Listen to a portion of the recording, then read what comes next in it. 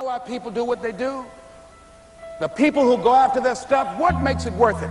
It's got to be your passion. You got to love it, ladies and gentlemen. You got to love it. It's got to be what you are supposed to do. You want to sing, and even though they want to invite you to Carnegie Hall, you're going to sing to anybody that listen to you, including singing to yourself.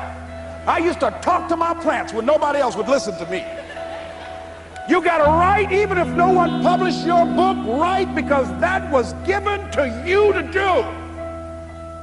You do what it is you're supposed to. You're supposed to build something. You're supposed to create something. I don't know how to do it. Learn. Do whatever is required. Just go out there.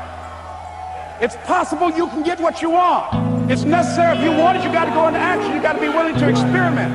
You got to be willing to fail and to succeed. You got to be willing to form and develop new relationships. It's you, it's on you. You got to make that happen. Nobody's going to bring it to you on a silver platter and say, here's your dream manifested. No, it's hard. Yes, it's hard. It's difficult. Yes, right. And it's worth it.